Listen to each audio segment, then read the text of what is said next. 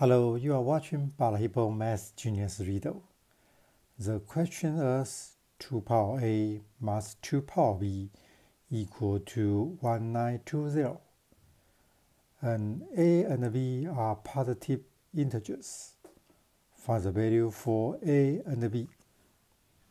Would you please find the value of a and b if you are interested? Pause the video and find the answer while you are ready. Keep watching the video to find the result.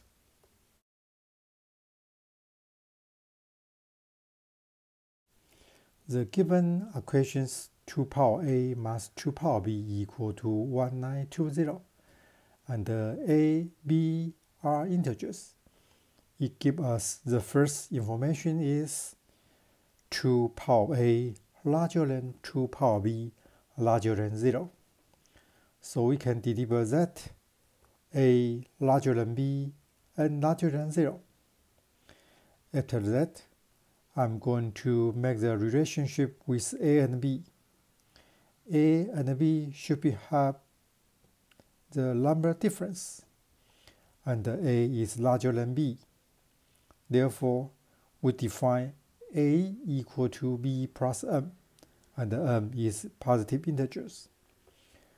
Substitute a by b plus m to the given equations uh, as 2 power of b plus m minus 2 power b equal to 1920. 2 power of b plus m equal to 2 power b times 2 power m. Factorize the two items in the left side of equations. We get 2 power b times bracket 2 power m minus 1 bracket equal to 1920. In these new equations, let's look at the numbers 1920. Factorize 1920 is equal to 2 power 7 times 3 times 5.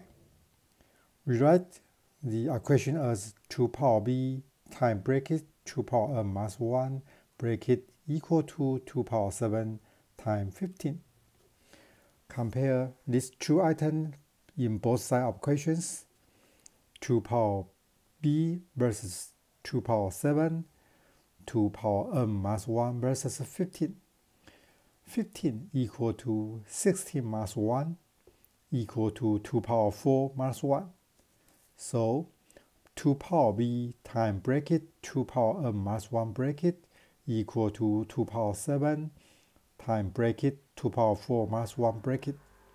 Then get b equal to 7 and m equal to 4.